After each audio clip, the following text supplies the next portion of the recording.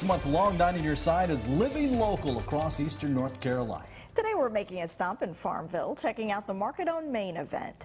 That's where we find our Amber Joseph. She joins us now live with more. Hi, Amber. Yes, Market on Main is underway. It's really busy. Lots of people out here, a lot of families, and there's really something for everyone. Now, these markets really do help our local vendors and small businesses, but especially local farmers. Right here is the Little Creek Market, and I have the owner here, Miriam Lewis. Now, she's been out here all day. Miriam, can you tell me a little bit about what you guys are selling today?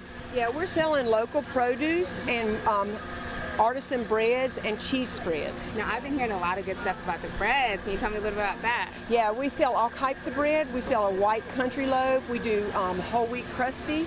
We do cheese and jalapeno and bacon. And then we do um, different things people have asked us about doing. Awesome. Now, can you tell me how important these markets are to our local farmers? Oh, yeah. This market is really important, especially to local um, produce producers because it just gives us an opportunity to sell our produce locally and it gives people an opportunity to try different type of produce. Like right down here we have spaghetti squash and locally grown tomatoes. These are picked right here in Farmville the blueberries different colors okras.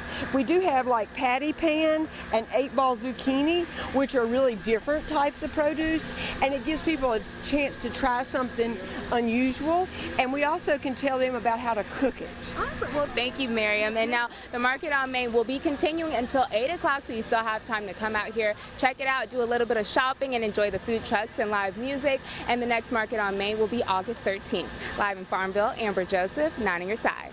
All right, Amber, thanks so much. As a reminder, you